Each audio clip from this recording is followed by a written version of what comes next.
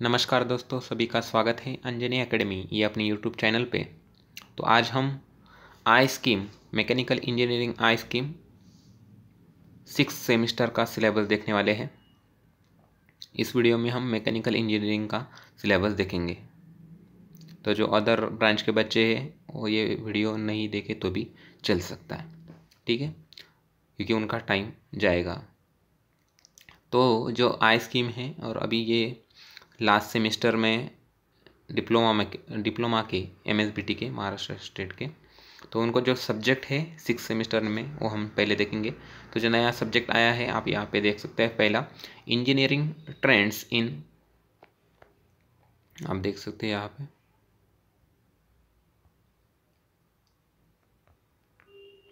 Engineering trends in mechanical engineering short form है abbreviation E तो ये जो सब्जेक्ट है, इसको अलर्टेड थ्री हावर है थ्री इसकी जो एग्ज़ाम है ई एस सी मतलब एंड सेमेस्टर के सेमेस्टर के जो अंत में जो एग्ज़ाम होती है, वो सेवेंटी है सेवेंटी मार्क की होगी और उस पर स्टार हैश है.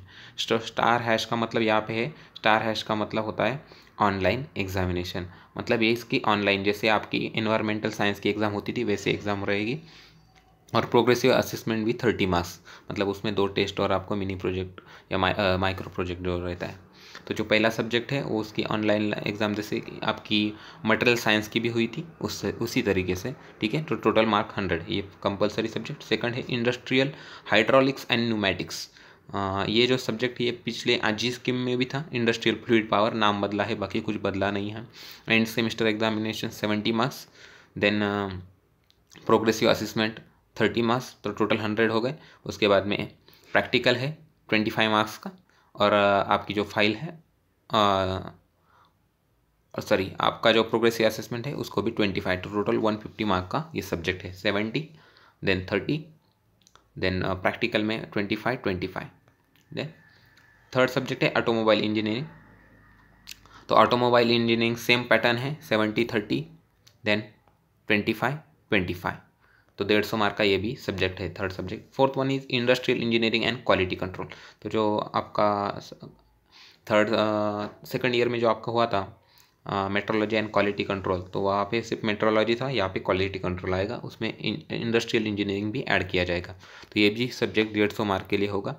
Seventy seventy end semester examination रहेगी मतलब पूरा थ्योरी पेपर थर्टी मार्क का प्रोग्रेसिव असेसमेंट जिसमें दो टेस्ट और आपका माइक्रो प्रोजेक्ट और उसके बाद में जो आपका practical twenty five eight eight का मतलब होता है, यहाँ पे हम नीचे देखेंगे एट का मतलब क्या होता है? एट मतलब इंटरनल असेसमेंट है और हैश मतलब एक्सटर्नल असेसमेंट तो जो आपका ऑटोमोबाइल इंजीनियरिंग था, उसको एक्सटर्नल असेसमेंट है और जो आपका क्वालिटी कंट्रोल है, उसको इंटरनल असेसमेंट है, लेकिन तीनों सब्जेक्ट डेढ़ सौ मार्क के लिए है।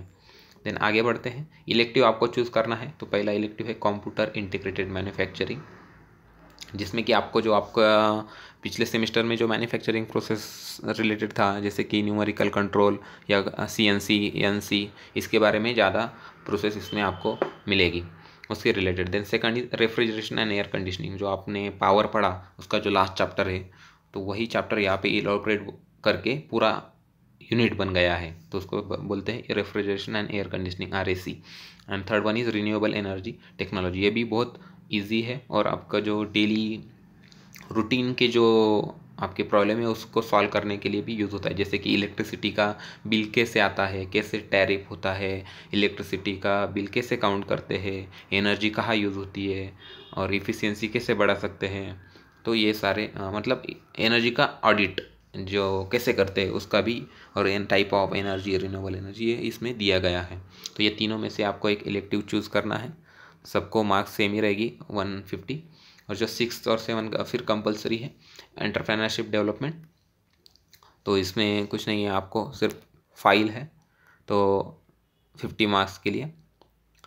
यहाँ पे देख सकते हैं आप फिफ्टी एट एट का मतलब मैंने पहले ही बता दिया एट का मतलब होता है इंटरनल असेसमेंट रहता है ओके और आगे जो है, उसमें मिनिमम ट्वेंटी और प्रैक्टिकल फिफ्टी मार्क्स के लिए। तो ऐसा हंड्रेड मार्क्स का ये रहेगा। तो ये सब्जेक्ट नहीं है, ये आपका एग्ज़ाम से पहले ही हो जाएगा। ये दोनों मतलब जैसे कि आपका फिफ्टी मार्क्स का आपको इसमें पढ़ाया जाएगा कि कैसे इंटर मतलब आपके गेस्ट लेक्चर होंगे, कैसे एंटरप्रेनर बने इसके ऊपर।